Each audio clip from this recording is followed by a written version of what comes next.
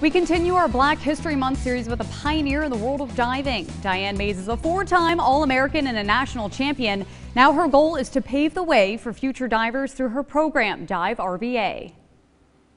I don't see myself as being more black or more white. I see myself as Diane Maiese. Maiese defines herself by who she is to others. Diving coach, mother, teacher, um, friend.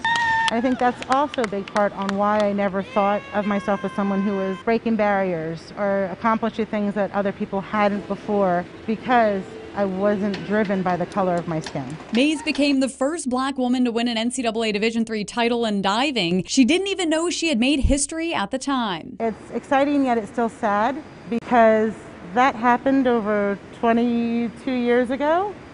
And I'm still the only one. Maiese, who also became the first black Division One diving coach, says there are still barriers to break. I think accessibility, um, the location of pools, and then on top of that, the cost.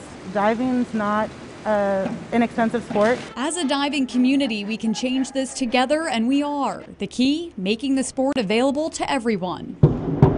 A couple of the parents and I, um, we have gotten together. We have Dive RVA, and our goal is to fill that void. And so we will have a facility that anyone is able to try diving.